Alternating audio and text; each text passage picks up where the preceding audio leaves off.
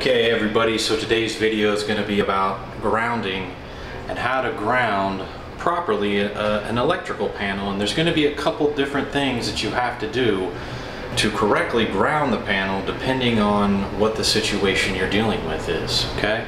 What's wrong with the situation here with this uh, disconnect back to the electrical panel is that there's no equipment grounding conductor.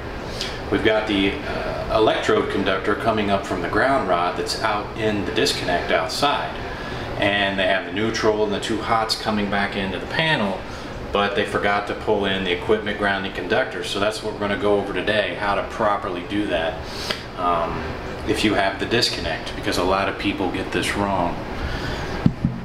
Okay, in the definitions, the equipment grounding conductor, the EGC is what it's also known as, the conductive path installed to connect normally non-current carrying metal parts of equipment together and to the system grounded conductor or to the grounding electrode conductor or both.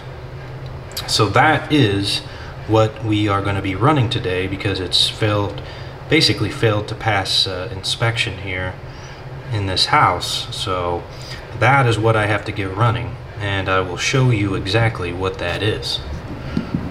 Okay, so we're here in the electrical panel and um, I can show you right here what we are looking at.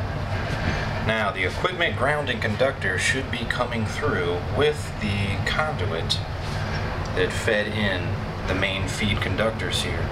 So we've got the neutral coming out there from that disconnect and we've got the two uh, ungrounded, which are the hot feeds, right? Now, the next thing we need to do is go back to 250 for grounding in the National Electrical Code, and we need to find the code that gives me the installation size. I need to know what size this equipment grounding conductor needs to be, the minimum, because I, you know, I don't need to buy anything that's bigger than what I need because then I'm just wasting money. So you can find that on 250.122 in the National Electrical Code. And this is going to be the sizing of equipment grounding conductors. And basically the way that this is sized is off of the amperage. So this will be sized off of the amperage of the service. And you can see here, we're a 100 amp service, so the maximum size uh, grounding conductor we need is a number 8, and that's exactly what we're going to use. Okay guys, so I ended up actually going out to the van and I realized what I actually have is a number 6 ground here. Uh, not a number 8, so I'm one size bigger and that's okay. Um, I'm not going to run down and grab any more because I've already had this. And, uh, you know, one size bigger is just that much better for it and that's going to work, so that's what we're going to use here. So what we have here is the bond. And how you can see that this one actually bonds is by that green screw, which, you know, they didn't even screw that down.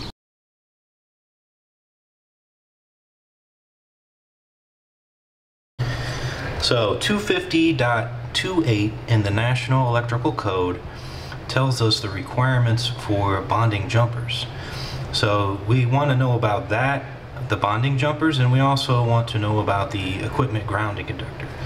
But first off it says for the bonding jumper that you can use a wire, bus, screw, or similar suitable conductor. So most of these disconnects and the electrical panels will already come with the bonding jumper and that is what I took out of the electrical panel because in this situation I actually do not need it because we are not going to bond the neutral and the ground together because it's considered a sub panel.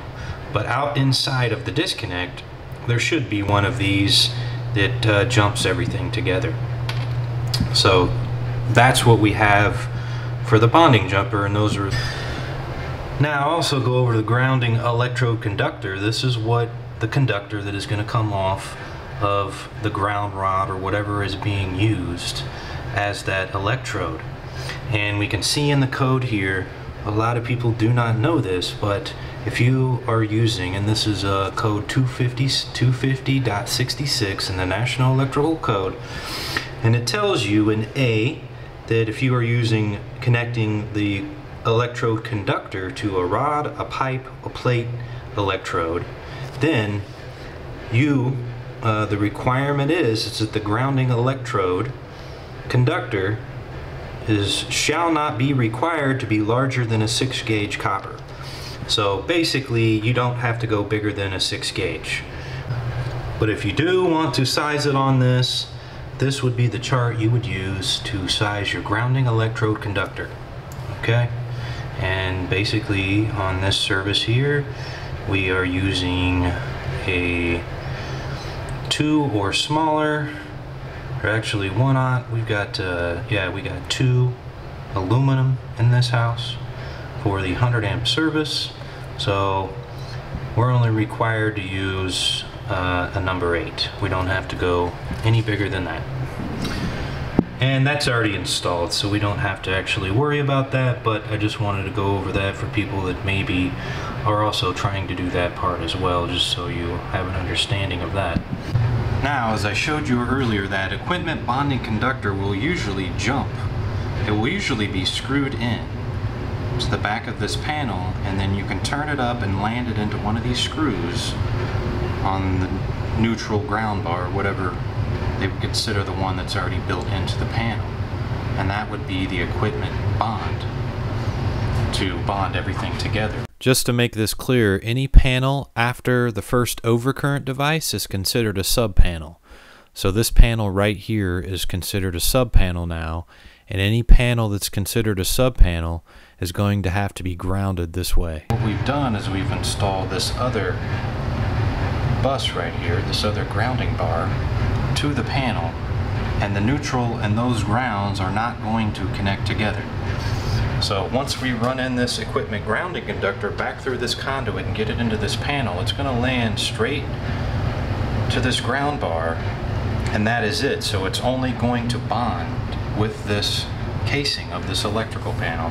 It will not bond together with the neutral bar. So that's what you have to understand. Whenever you have a disconnect that you've run in or a sub panel where you would run another panel off of a panel, you're always going to keep the grounds and the neutrals separate. Please make sure you shut off any live electrical before you work on it. Okay, so there we go everybody. You can see the, this is a number 6, but remember we went through the electrical code and it only needed to be a number 8 maximum sized equipment grounding conductor according to the code for a 100 amp service. But I only had the number 6 there, so we ended up getting that run in here and I've got it landed. And as you can see, like I said earlier, we are not bonded together with the neutral bar as you would typically do on most services that are back-to-back -back, where this 100 amp breaker is the first main in the system. But because our first main is outside at the disconnect, this is considered a sub panel, and we do not want to bond the equipment, the uh, casing of the electrical panel, and the grounds, equipment grounds, to the neutrals. So that's what we've essentially done here. And we finally got the last equipment uh, grounding conductor in from outside. Now we just got to go outside there and land it. Guys, make sure you shut your stuff down here. I've turned the breaker off. This one is still in the on position, but I've turned it off outside at the main. So all these wires here are dead right now. Um, the only thing that's live out here for me is the one coming from the uh, electrical meter. So, so guys, ultimately, I did end up having to pull the meter out so I could redo some of these wires because in these disconnects, it's just everything's really tight. Kind of hard to get in there, so it was much safer to pull that.